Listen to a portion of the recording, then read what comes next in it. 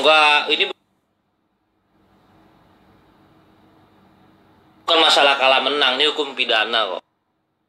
Netizen ini kan gue yang oknum-oknum netizen ini kan goblok ya menurut gue ya. Jadi tidak melihat dari tupoksi kasusnya itu sesuai dengan apa masanya eh, di ranah pidananya. Kan ranah pidana ini lagi lagi bergulir. Ya biarinlah polisi lah. Gitu. Emang gue kapolres emang gue kapolda enggak kan Ya kan? kita kan berupaya untuk biar kasusnya itu eh, biar apa namanya? Biar ditangani gitu loh. Biar eh, polisian memberi kalaupun nggak terbukti ya nanti kan polisi yang mengumumkan. Karena bukti kurang kuat apa kurang kuat gitu kan? Ya, tapi harus ada ada yang berani begini ada yang berani begini gitu loh. Jangan dianggapnya negara ini eh, dia yang punya hukum di negara ini. Nggak bisa begitu. Ya. Nggak bisa. Jadi jangan jangan kira jangan kira eh, orang nggak nanti orang nyangkanya kebal hukum oh maling ayam disidik yang ini enggak kan gitu. Nggak boleh.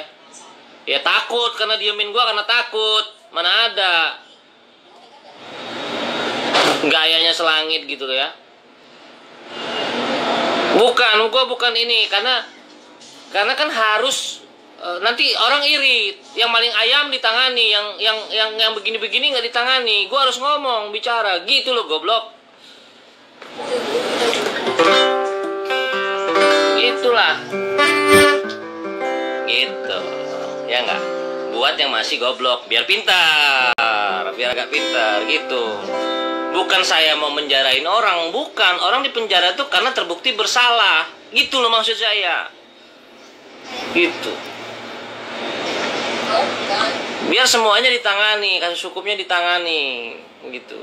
Jangan nanti orang orang laporan cuman eh, maling remote TV atau maling TV diperlakukan cepat gitu kan. Yang ini nggak cepat gitu loh. Kita kan bersuara demi itu gitu Ya, kamu yang belajar lagi Firmansa, kamu belajar lagi. Kamu jangan jangan jangan jangan jangan ngomong saya belajar lagi. Kamu belajar lagi. Kamu kamu mendingan Firmansa kamu eh, lebih baik kamu eh, ibumu tuh kasih makan gitu kan berbakti gitu kan.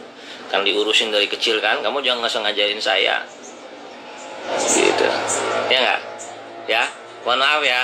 Saya katakan begini ya. Kalau kamu belajar lagi kamu bilang belajar lagi kamu udah udah ngasih ngasih apa ke orang tuamu? Oh, malah kena nasihat nanti bermansa enggak enggak ada kebal hukum. Kemarin di penjara di Polres di penjara pernah. Nggak ada yang kebal hukum. Tenang aja guys. Kalau benar menang bacot iya. Semua orang tuh nggak ada yang kebal hukum di negara ini ya. Intinya kita tahu ya. Semua ya. Jadi jangan ngerasa jangan ngerasa sok kuat gitu loh anak Pak Jokowi aja nggak gitu nggak gitu kok kelakuannya. Nggak sok yang punya hukum. Gitu loh. Nggak ada nggak ada nggak ada yang kebal hukum. Gitu guys.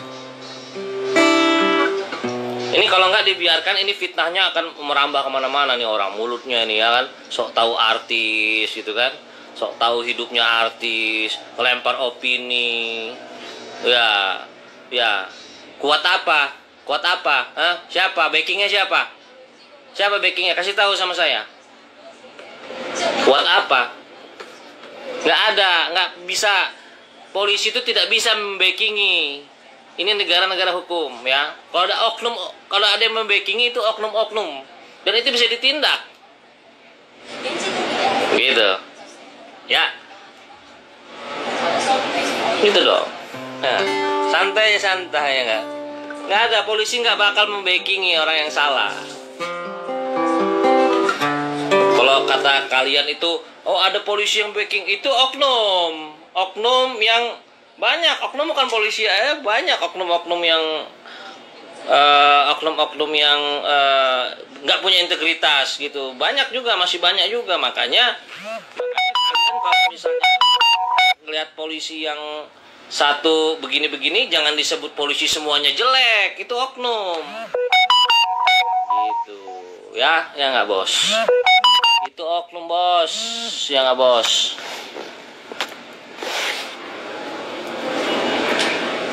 Gitu ya enggak jadi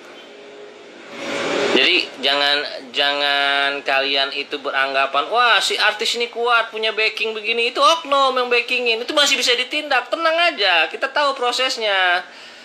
Gitu. Kalau misalnya benar-benar ada oknum yang backingnya kita bisa lapor lah ke divisi propam. Ya kan tidak ada kita bisa kita punya kanal media-media. Mana mana bisa gitu. Backing. Jadi nggak usah takut